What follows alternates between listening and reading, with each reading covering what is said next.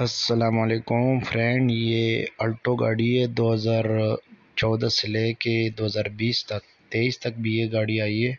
और इसका जो क्रैंक सेंसर है, उसका जो वेरिंग कलर कोड है, वो आपको दिखा रहा हूँ। ये उसकी क्रैंक सेंसर का ग्रिप है, ये आप चेक करें।